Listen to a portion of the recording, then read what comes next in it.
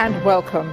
I am Amarachi Ubani. Tonight, truce in the PDP yet to happen as National Chairman Modu Sharif threatens to jail Ahmed Makarfi and his group for alleged contempt of court. Ahmed Makarfi group fights back, says Sharif has no right to take over the party's secretariat until the Supreme Court decides. OPEC Secretary General Mohammed Barkindo says OPEC countries lost $1 trillion oil revenue to decline in global oil prices.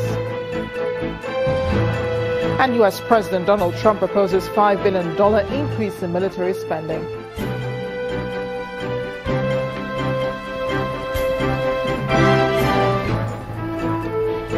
And on business news tonight, Central Bank of Nigeria boosts liquidity of foreign exchange markets with additional $180 million. On sports news tonight, Roger Federer is back after the Australian Open with a 6-1, 6-3 win at the Dubai Open. And from Abuja, I'm Linda Akhigbe. Former President Olusegun Obasanjo advocates strong synergy between the public and private sectors for the national economy to thrive.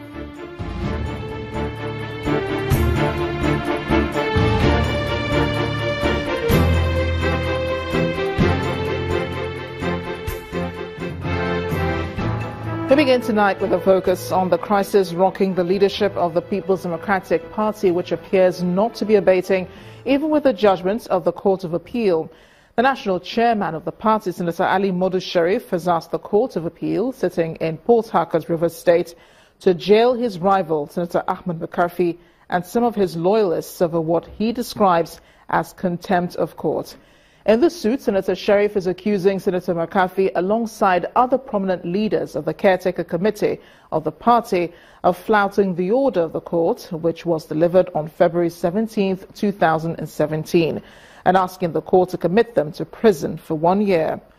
The appeal court in the earlier judgment had, in addition to pronouncing Sharif as the PDP national chairman, ruled that the removal of the National Working Committee was wrong and the constitution of the caretaker committee illegal. A group of protesters loyal to the Senator Ahmed Makarfi caretaker committee has taken to the National Secretariat of the party in Abuja in protest, calling on the police to stop the national chairman, Senator Ali Modu Sharif, from entering the party's office.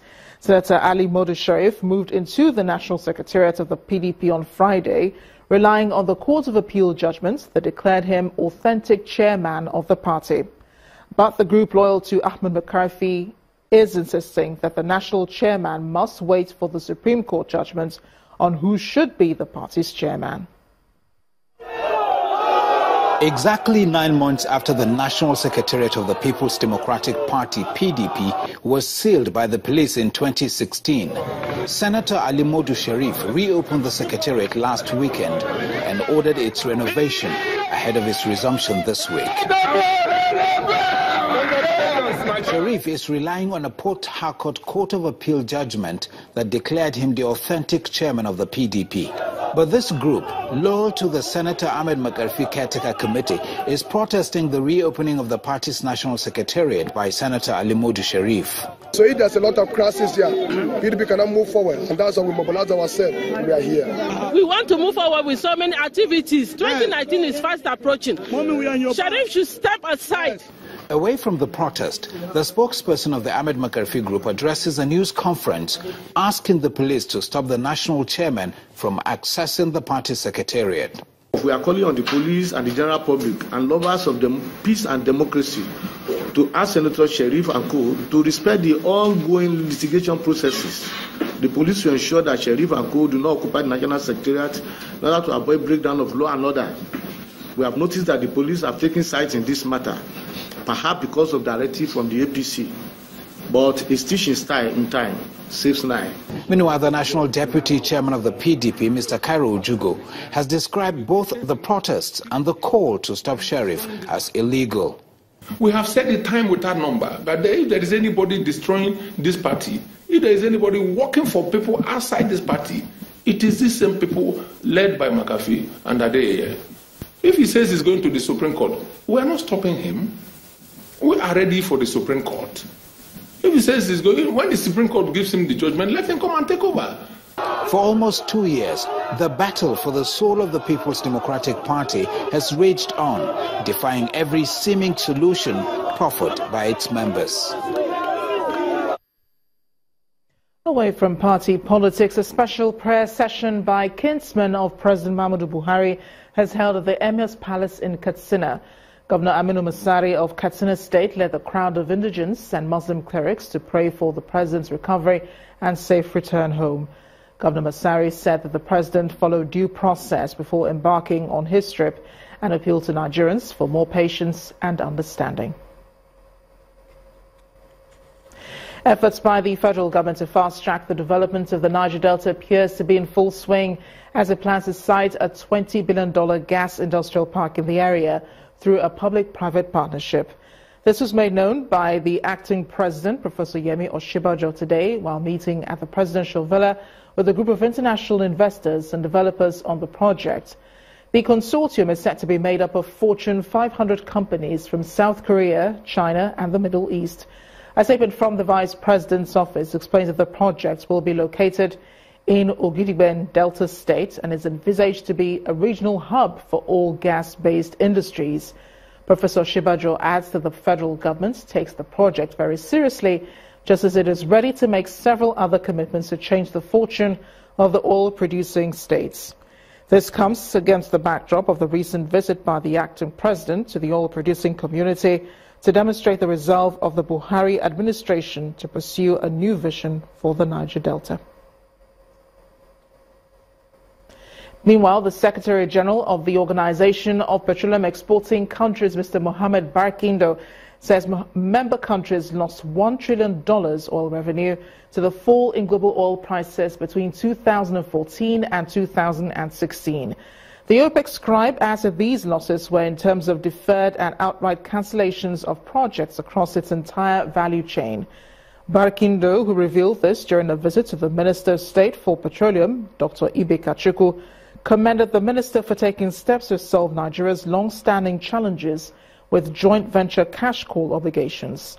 Our correspondent, Omelogor Nnadi, reports. Executive members of the Organization of Petroleum Exporting Countries, OPEC, on an official visit to the Minister of State for Petroleum, Dr. Ibe Kachikwu, led by their chairman, Dr. Omar Farouk. This visit is coming at a time when oil prices appear to be on a slow but steady rebound following difficulties of OPEC member countries to manage their domestic economies to overcome a recession occasioned by a dip in oil prices. The Secretary General of OPEC, Nigeria's Mohamed Barkindo, says the cartel globally lost $1 trillion in two years and needs consistent investments to maintain current production. This industry globally has lost nearly 1 trillion US dollars in terms of deferred projects, in terms of outright cancellation of projects across the supply chain, upstream, midstream, downstream. And this is the greatest threat that is facing future supply, the security of supply. Amidst the global challenges, the OPEC Secretary General is impressed by what he terms an innovative and practical approach of Nigeria's Minister of State for Petroleum that ended the country's long-standing challenges with joint venture cash call obligations. The approach has been innovative. Uh, the solution uh, is very practical uh, you are clearing an overhang of debt uh, that is too high, uh, yet maintaining a level of production and also focusing on an incremental growth that will continue to sustain not only the industry but the domestic economy. He says the survival of Nigeria's oil industry through 80% crash in oil prices over a two-year period remains a miracle, saying the worst is now behind. Omelogor Nnadi Channels Television News. Former Governor of Cross River State, Mr. Donald Duke, has berated the management of the nation's revenue from crude oil sales. He says the nation's economic deficits would have been appropriately resolved with the oil revenue, but for lack of political will, which according to him is the nation's biggest challenge. The former governor joined other panelists at the first edition of the Economic and Business Strategies Limited Red Lecture for 2017, organized by Mr. Manos Pakol. Our correspondent, Gloria Umezuke, reports. Um, and chief strategist at the Economic... This is the first edition of the Economic and Business Strategies Limited Refined Economic Development Lecture for 2017. Students and entrepreneurs were participants at this quarterly lecture series. The time for the organizer, Mr. Magnus Pakol, underscored that the forum is to exchange ideas to make Africa more economically competitive. The government does not give you economic salvation it is something that you as an individual will have to go and get yourself. And economic salvation really is about the ability to produce goods and services that the people want and that they can demand effectively. For Former Governor of Cross River State, Mr. Donald Duke, and other panelists clearly enumerated the causes of stagnant growth in the country.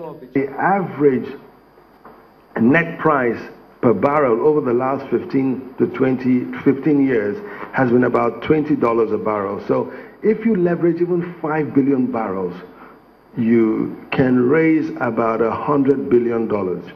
We should have world-class highways traversing the length and breadth of this country.